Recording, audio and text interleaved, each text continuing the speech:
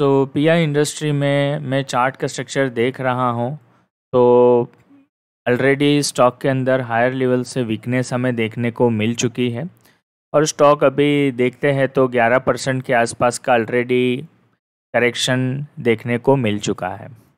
अब थोड़ी बड़ी टाइम फ्रेम का अगर मैं चार्ट का स्ट्रक्चर देखता हूँ तो चार्ट का स्ट्रक्चर अभी भी बहुत ही बेहतरीन है। लाइफ टाइम हाई लगाया था लास्ट मंथ में। और अभी थोड़ा करेक्शन हमें देखने को मिल रहा है।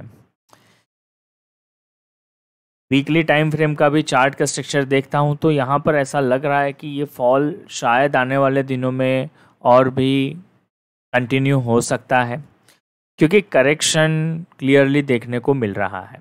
वीकनेस हमें क्लियरली देखने को मिल रहा है। और बढ़िया जो बाइंग लेवल है, जो लॉन्ग टर्म के हिसाब से भी अगर किसी को बाय करना है तो वो three thousand three thousand one hundred and fifty और उसके नीचे के आसपास के कुछ लेवल है, ठीक है? सो पी इंडस्ट्री में अभी तो यहाँ पर कोई अच्छे बाइंग लेवल है नहीं कि यहाँ से कोई अच्छा बाउंस मुझे दिखाई नहीं दे रहा है। अभी आने वाले दिनों में रिजल्ट्स भी आपको देखने को मिलने वाला है। डिविडेंड भी डिक्लेयर हुआ है पाँच रुपये का।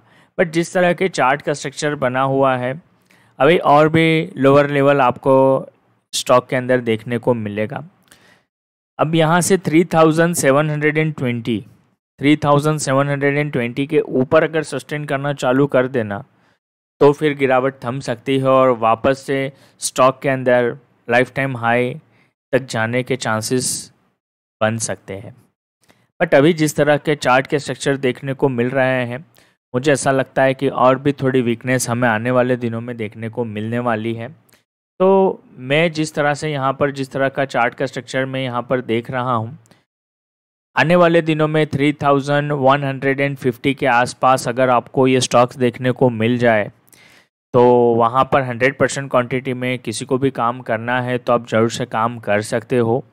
और फिर क्लोजिंग बेसिस के ऊपर आपको एक स्टॉप लॉस मेंटेन करना है, वो है थ्री थाउज़ेंड रुपीज़ का।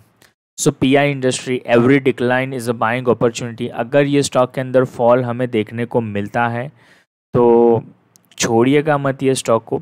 बहुत ही बढ़िया अपॉर्चुनिटी देगा आने वाले दिनों में। तो काम ज़रूर से कीजिएगा और जिस तरह से मैंने आपको लेवल्स बताए हैं, वो लेवल के ऊपर प्राइस एक्शन भी आप लोग ज़रूर से देखिएगा। मुझे पता है कि जो बाइंग लेवल सजेस्ट किए हैं, वो काफ़ी दूर है राइट बट दूसरे कोई बाइंग लेवल है नहीं। तो वो लेवल का वेट करना चाहिए और उसी लेवल के ऊपर फ्रेश न्यू लॉन्ग पोजीशन अगर लॉन्ग टर्म के लिए भी अगर बनानी है तो आप ज़रूर से बना सकते हो।